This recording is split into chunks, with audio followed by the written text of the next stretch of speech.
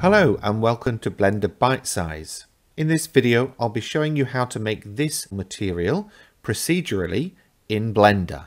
Feeling lazy? You can support this channel and skip the hard work by grabbing the blend file for this material from Gumroad for just a pound. Feeling flush? Feel free to throw some of that coin my way using the Ko-fi link in the description below the video. Okay, we have a number of stages for this one, so I'm going to crack on as quickly as I can. First up, I've got uh, my object loaded. I've got viewport shading enabled and I'm in the shading tab and I have a principled shader setup already applied. Uh, as before, I've got my cloth um, setup that I shared in a previous video um, already set up here as well. So the first thing that I'm going to do is actually make a couple of changes to the principled shader. I'm going to drop the specular so the cloth is not glossy and I'm going to increase the roughness to 0.75 and I'm going to increase the transmission to 0.325 that will allow some of the light to pass through the cloth um, because basically what we're doing is simulating a printed polka dot fabric. So you wouldn't get the intensity of the color on one side, but by increasing the transmission, you will get um, some of the patterning showing through, but in a more pastel way. Um, I'm also going to increase the transmission roughness to 0.5. Okay, so let's take a look at creating the polka dot itself. For this, we will need a gradient texture. So Shift A and then search for and apply the gradient texture. And we'll also need a color ramp. So we'll plug the color ramp into the base color and the color from the gradient texture into the factor. Set the gradient texture to spherical set the interpolation mode on the color ramp to constant and move the white color value to 0.65. Now the white color is actually going to be the dot color and the black is going to be the fabric color as you can already see. You won't see the polka dots just yet because we've got a few more bits to do but uh, what I will do is select both of those press the N key to open the panel on the side and because I have the node wrangler um, add-on enabled I've got these options down here. If you don't have that enabled of course you can go into your preferences go into add-ons and search for node oops node wrangler and make sure that's enabled. Uh, I'm then going to click on frame selected and that will add a frame here. Go up to where it says node, uncheck color, and then give it a name. So let's call this one polka dot. Uh, actually, let's call this polka dot. No, because we will control the size and the color here, but I'll come back to that in a wee bit. Let's move that off to one side. Press the N key to get rid of that again, so we can just see the tail of this. Let's now look at the scale of the dots. So we're going to need a texture coordinate and we're going to need a mapping node. So the UV coordinates go into the vector of the mapping node and the vector from this I'm going to plug directly in here but we've got a lot to put in between. So you can see it's rubbish right now but that's fine. We're going to do some changes. We're going to change the scale to 200 on the X and the Y. Again, you won't see much going on here yet because we've still got lots to do. We're going to move this way off to the left and we're going to apply a frame to that as well.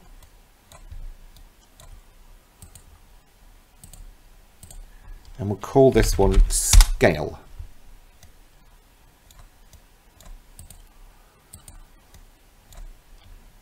Right.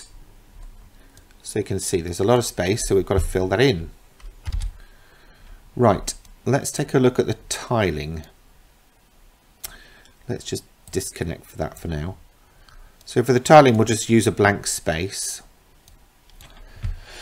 But we're first going to need a separate XYZ node and a combine XYZ node. Now the Z's got, not going to make too much of a difference, so we're just going to plug one to the other. Next up, you're going to add 10 math nodes. So I'll select one and then just duplicate the others. We'll make the changes in a second. So five at the top and then I'll just select all of these, D, and pop those down the bottom. okay, we're going to take the X from the separate XYZ node into the top value socket of this add. We're then going to take connect that up to the next one and change that to absolute. Connect that up to the next one and change that to modulo. Connect that up to, oops.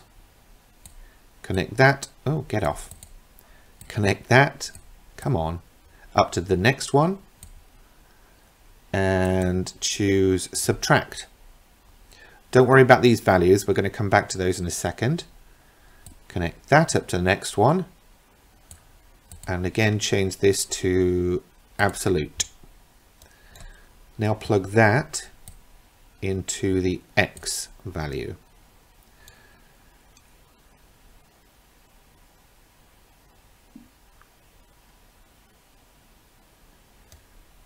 Now for the bottom row, uh, we're going to do exactly the same in fact.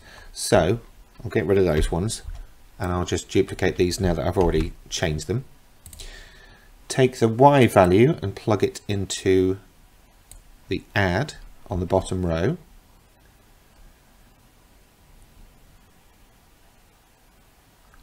And then take the value from the end and plug it into the Y.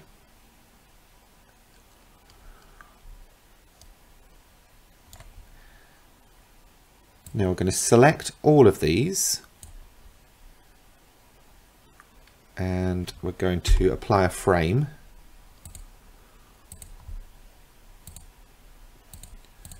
and we'll call this tiling. This is controlling how the polka dots tile basically. We've got some um, values that we need to connect up. So we're going to do a bit of clever maths because the same values are used a lot. So we'll get, grab ourselves a value node and a math node. Set this to multiply and connect this value to the top value and set the bottom as 2. Set the value at 2 here. And then basically I'm going to take this value node and plug it into the two add math nodes here. And also the two subtract nodes. Then we're going to take this multiply node and plug that into the two modulo nodes. And this value is basically going to control the spacing of the dots. So again, we'll give it a frame and call it spacing organizing things with these frames with the titles is going to make much more sense later on because you can know which bits you need to change for either the colors, the tiling, the spacing or the scale. So that now needs to get plugged into the tiling.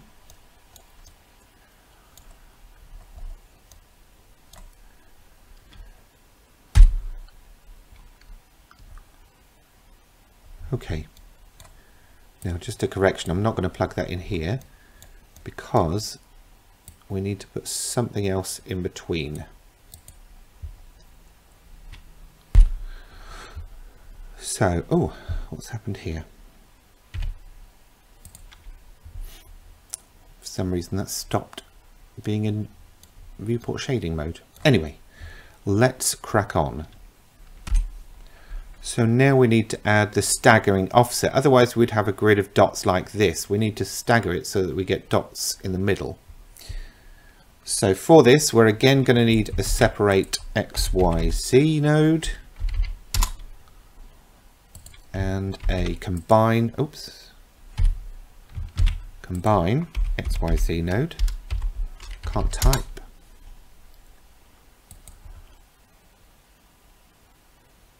Connect up the Z because we don't really need that.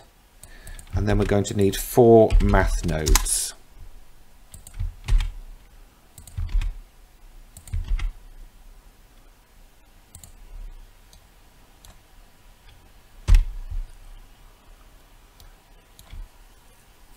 Okay, connect the X into the first slot on this add change the next to multiply and the next to round. Where's that gone. Over there. And the final one leave as add. Connect those all up.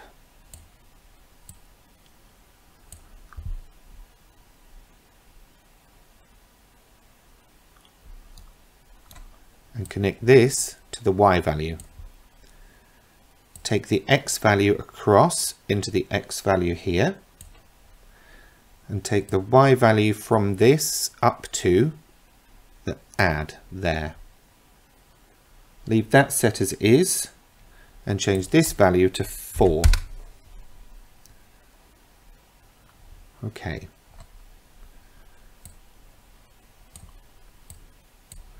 So again, let's put a frame on this.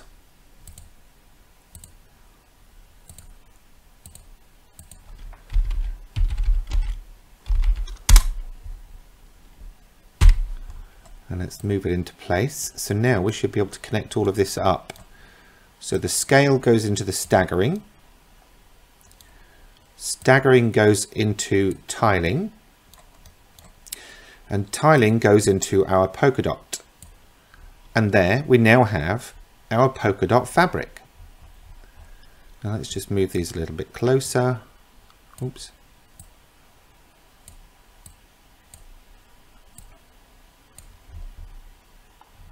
So we can technically ignore all of this on the left just while we take a look at this final bit. So like I said, basically the white value, the right hand value controls the color of the dots and the left hand color value controls the color of the fabric. So let's give ourselves quite a traditional red and white polka dot. And that's basically your polka dot fabric created. So let's render that out and see how it goes.